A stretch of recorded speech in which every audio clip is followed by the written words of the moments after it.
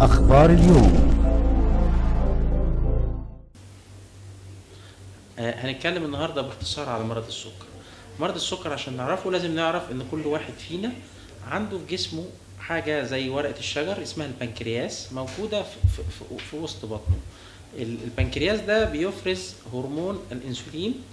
الإنسولين اللي شغلته يهضم السكر وبيهضم السكر وكل حاجة اتحولت في الجسم سكر يعني العيش الرز المكرونة الكربوهيدرات كلها بتتحول لمادة سكرية بسيطة زائد السكر اللي الواحد بياكله اللي موجود في الحلويات أو الفاكهة أو أي حاجة كل ده سكر الجسم بيهضمه بيهضمه بواسطة هرمون الإنسولين في حالة ظهور مرض السكر.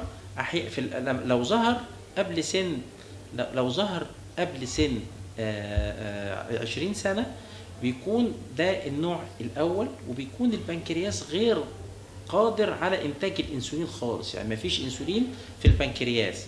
فده بيبقى بنسميه النوع الأول. غالبا غالبا النوع اللي ما فيهوش إنسولين في الجسم بنسميه النوع الأول. النوع الثاني من مرض السكر بي- بيظهر لما البنكرياس ما يقدرش يطلع إنسولين كفاية لاحتياجات الجسم.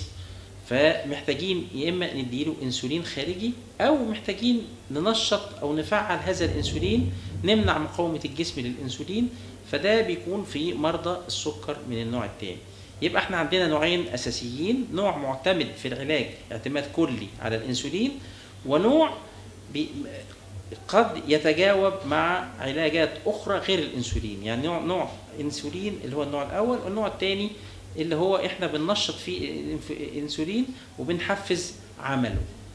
طيب إحنا النهارده جالنا مريض السكر النوع الثاني لازم نعرف هل النوع ده هل في إنسولين كفاية في جسمه؟ محتاجين ننشطه ولا نديله سبلمنت زيادة.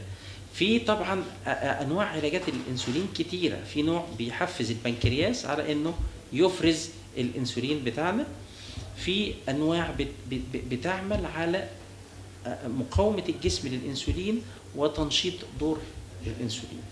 ده بالنسبة ده باختصار شديد لمرض السكر وعلاجاته اللي إحنا ناويين عليها